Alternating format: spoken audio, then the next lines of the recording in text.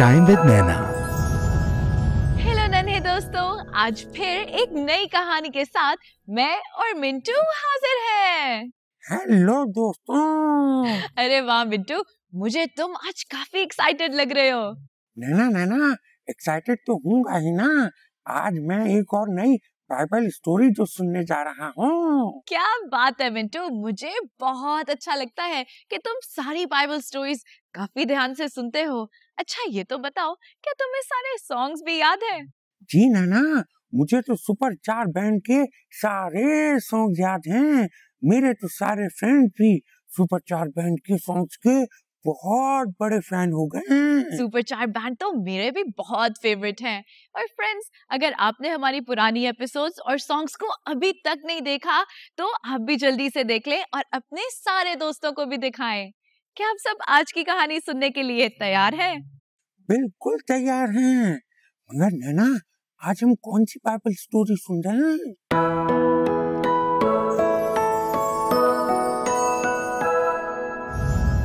मिंटू आज मैं आपको और सब दोस्तों को एलिया नबी की कहानी में से एक वाक्य सुनाऊँगी।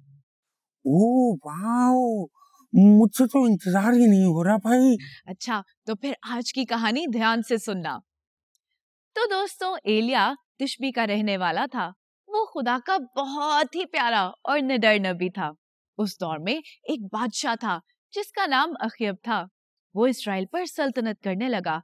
अखियब बादशाह ने खुदा की नज़र में बहुत गुनाह किए थे।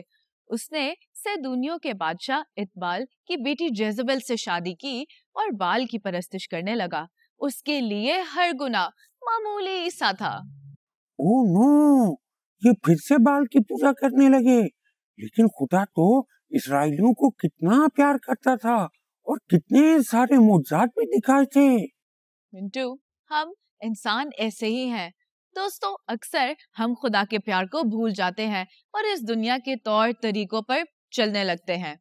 तो फ्रेंड्स अकियब बादशाह ने बाल के लिए कई मंदिर और मजबे बनवाए।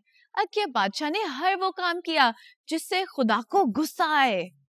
अरे नैना गुस्सा तो मुझे भी बहुत आ रहा है। मिंटू, गुस्सा छोड़ो और कहानी को ध्यान से सुनो। दोस्तों, खुदा का नबी एलिया खुदा से डरता था और खुदा से बहुत प्यार करता था। तो उसने ये सब बातें देखी और उसको बहुत बुरी लगी। एलिया ने खुदा के हजूर दुआ में कहा, खुदा के हयात की कसम, इन बरसों में बारिश ना होगी जब तक मैं ना कहूँ। और दोस्तों, यूँ ही हुआ। ओ वाओ नैना एलिया की दुआ की वजह से खुदा ने बारिश रोक दी। जी हाँ मिंटू। एलिया खुदा का खास नबी था और खुदा ने एलिया की दुआ को सुना। दोस्तों खुदा ने एलिया को हुक्म दिया कि वो सैदा को जाए और अकियब बादशाह की आग से दूर हो जाए। हैं? वो नैना? मिंटू क्योंकि खुदा जानता था कि अकियब बादशाह एलिया को मारने का मंसूबा बना रहा है। Oh wow! खुदा को अपने नबी एलिया की बहुत फ़िक्र थी। जी हाँ मिंटू। और खुदा ने उस बियाबान में एलिया का ख्याल रखा। खुदा ने कव्वों को भेज के एलिया को रोटी भेजी और वहाँ करीब एक नाले से एलिया पानी पीकर ज़िंदा रहा। अरे वाह! कौवे एलिया के लिए खाना लाते थे है नैना? जी मिंटू, खुदा के इख्तियार में सब जानवर और सब इंसान हैं, वो कुछ भी कर सकता है। खुदा ने एक बार फिर एलिया को हुक्म दिया कि वो एक बेवा के घर जाए। वहाँ खुदा उसकी रोटी पानी का इंतज़ाम खुद ही करेगा। जब एलिया शहर में पहुँचा तो उसने देखा कि एक औरत लकड़ियाँ जमा कर रही है। एलिया उसके पास गया और उससे कहा कि जा और मेरे लिए रोटी पानी लेके आ। उस बेवा औरत ने एलिया से कहा खुदा की हयात की कसम कि मैं ये लकड़ियाँ अपनी आखिरी रोटी के लिए जमा कर रही हूँ ताकि मैं और मेरा बेटा उस रोटी को खाएँ और मर जाएँ। क्योंकि अब ना ही हमारे पास तेल है और ना ही खाने को कुछ। जो मुट्ठी भर आटा है वो इस एक रोटी के लिए काफ़ी है। नैना नैना उस विवाह औरत के पास खाने की इतनी कमी क्यों थी? मिंटू क्योंकि बरसों से उस शहर में बारिश नहीं हुई थी और शहर में काल था। ओ काल! गर्ल फ्रेंड को कहते हैं ना? शाबाश मिंटू इसका मतलब ये है कि तुम्हें सारी पुरानी स्टोरीज अच्छे से याद है। तो दोस्तों एलिया ने उस बेवा औरत से कहा मत डर और जैसा कहा है कर। क्योंकि एलिया के सबब से खुदा उस बेवा को बरकत देने को था। एलिया ने उस बेवा को बताया कि खुदावन कहता है कि जब तक आसमान से बारिश नहीं बरसेगी खुदा उस बेवा का रोटी और पानी और तेल कभी खत्म नहीं होने देगा। मतलब खुदा को उस बेवा औरत की भी बहुत फ़िक्र थी। इसीलिए खुदा ने एलिया नबी को उसके पास भेजा होगा है ना? वाह मिंटू तुमने बिल्कुल सही समझा। फ्रेंड्स खुदा ने एलिया के सबब से बेवा और उसके बेटे को बरकत दी और जब तक बारिश ना हुई उनके रोटी पानी में कभी कमी ना हुई। ये दोस्तों और तो और कुछ दिन बाद ऐसा हुआ कि उस बेवा का बेटा किसी बीमारी के सबब से मर गया। खुदा ने एलिया को इस्तेमाल किया कि वो उस लड़के को नई ज़िंदगी दे। एलिया की दुआ से वो लड़का उठ खड़ा हुआ। अरे वाह नैना! एलिया नबी की स्टोरी तो बहुत इंटरेस्टिंग है। मिंटू ये तो एलिया नबी की कहानी में से कुछ वाक्यात है। एलिया वाकई में खुदा का बहुत ही पावरफुल नबी था। आगे सुनो।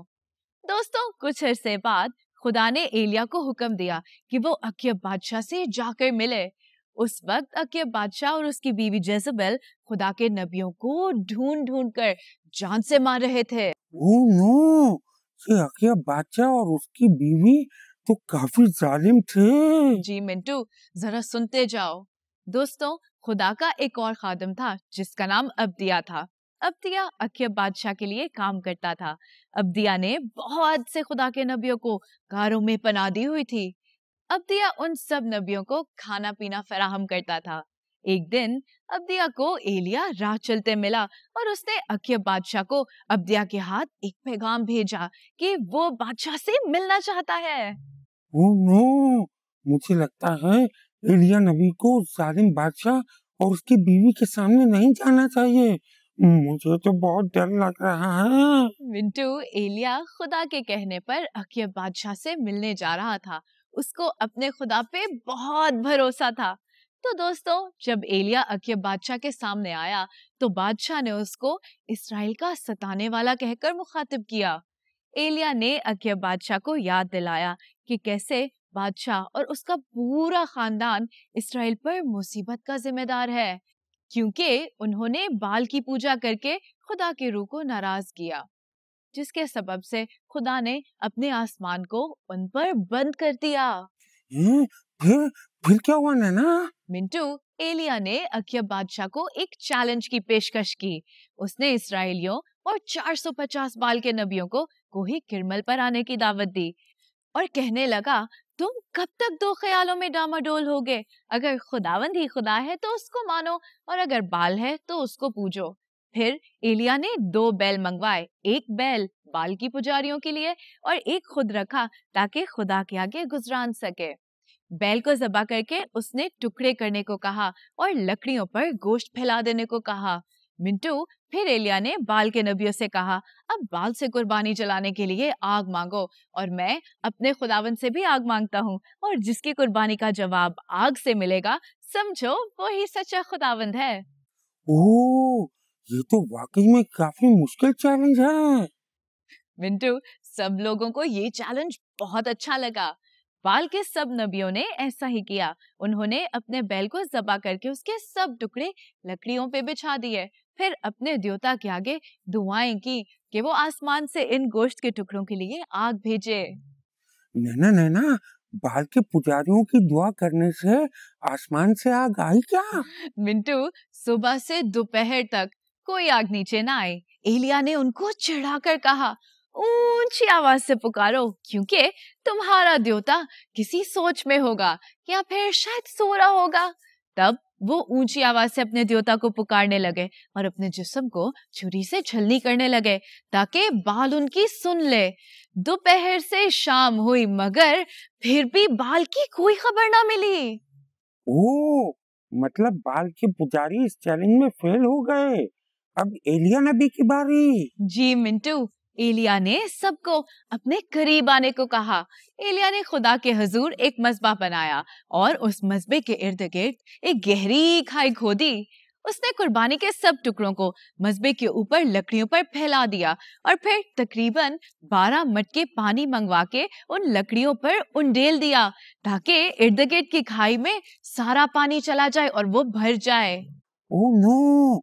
ये तो एलिया ने अपने लिए चैलेंज को और मुश्किल बना दिया, है ना, नैना? मिंटू एलिया सबको दिखाना चाहता था कि उसका खुदा हकीकी खुदा है। दोस्तों, एलिया ने फिर खुदा से दुआ की। ए खुदावन, इब्राहिम, इसहाक और इसराइल के खुदा, आज मालूम हो जाए कि इसराइल में एक तू ही खुदा है और मैं तेरा बंदा हूँ और मैंने ये सारी बातें तेरे हुक्मों से की हैं। सुने खुदा, ताकि ये सब जान जाए कि तू ही एक खुदावंद है और तूने इन सबके दिलों को फेर दिया। दोस्तों, तब खुदावंद की आग नाजिल हुई, जिसने उस कुर्बान गाह और उसके इर्द गिर्द सब चीज़ों को जलाकर भस्म कर दिया। ओ ये एलिया चैलेंज जीत गया।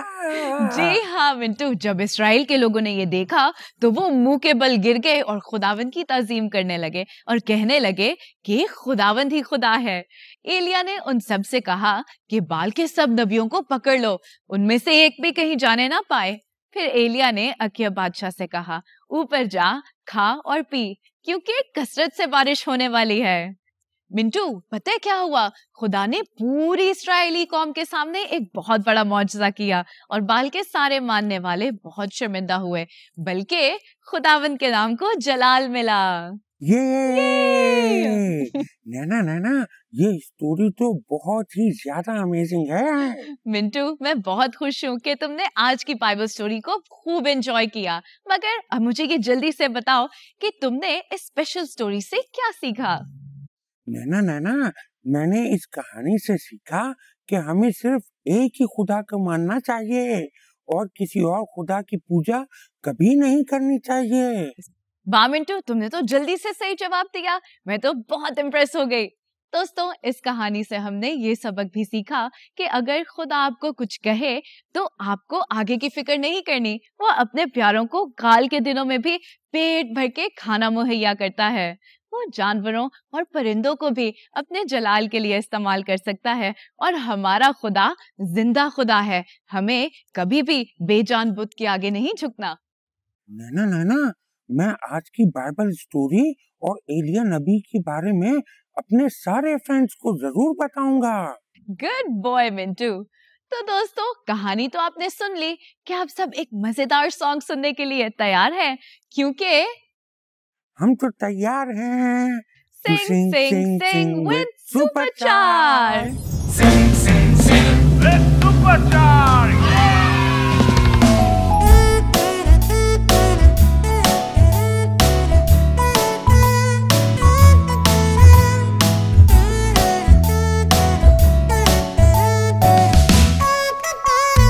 आ जाओ आ जाओ करमल के पहाड़ पर। देखो जलाल, यहोवा का जलाल। धारो, पुकारो अपने देवताओं को देता नहीं, क्यों कोई जवाब?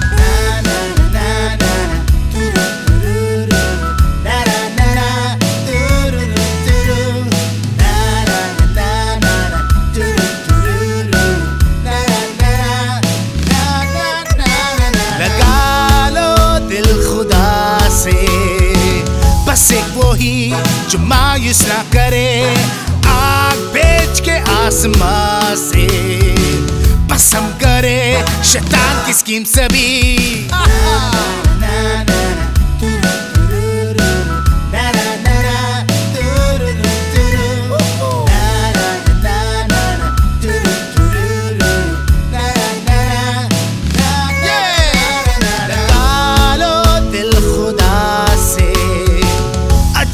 काम यहोवा उसका नाम, कह दो सब जहाँ से है एक खुदा, यहोवा जिसका नाम।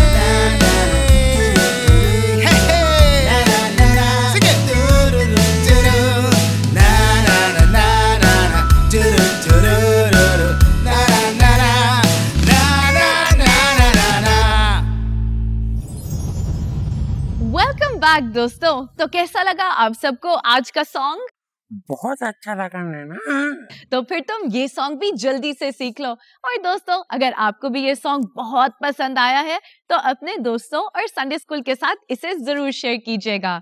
मिंटू अब हम क्या करने लगे हैं? इट्स शाबाश! चलो मिलके दुआ करते हैं।